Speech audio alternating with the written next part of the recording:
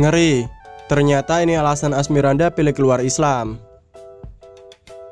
Tentu saja kita harus mengatakan bahwa segala sesuatu yang berhubungan dengan Asmiranda selalu menjadi hal yang menarik bagi publik.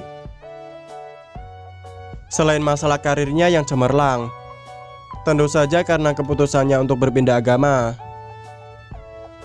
Dan ini membuat publik heboh bukan main. Dilansir dari tribunnews.com, dan kita pun bertanya-tanya, mengapa artis cantik itu pada akhirnya memutuskan pindah agama dan masuk ke agama Kristen. Pantas saja Asmiranda pindah ke agama Kristen. Alasannya bikin ngeri.